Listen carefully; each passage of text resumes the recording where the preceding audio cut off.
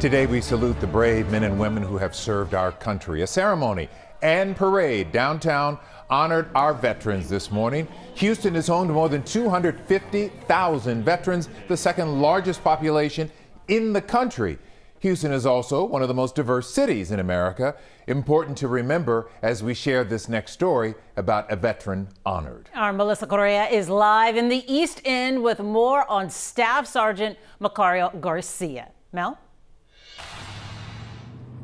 Hey there, Mia. Yeah, this massive mural unveiled today on Veterans Day. Macario Garcia was the first Mexican immigrant to receive the highest U.S. Medal of or military decoration, rather, the Medal of Honor. He landed in France on D Day and later saved his platoon by taking down enemy weapons and capturing enemy soldiers.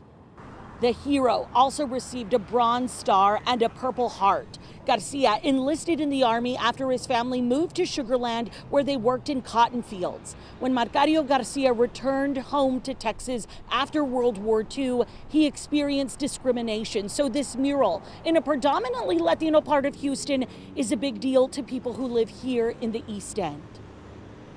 You know, these trailblazers had to endure a lot of discrimination. The 1940s was a tough time. Many Hispanic Americans served in, all, in our armed forces and were never recognized for their heroism.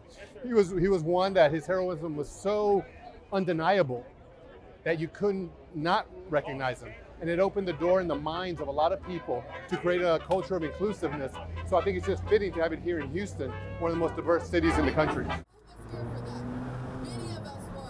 Macario Garcia's family was part of today's fanfare here outside Houston Fire Station number 20 along Staff Sergeant Macario Garcia Drive, which was renamed in his honor decades ago. There is a plaque on the corner here at uh, Garcia Drive and Navigation Boulevard, but the hope is all of these drivers, Len and Mia, will take the time to research and learn a little bit more about this hero. And as I toss it back to you, you know, he landed in Normandy Normandy on D Day, come to find with my grandfather, mm. who hmm. also served in the Army. And so to see a guy who looked just like my papo honored on a wall, massive like this, is a big deal to me, too.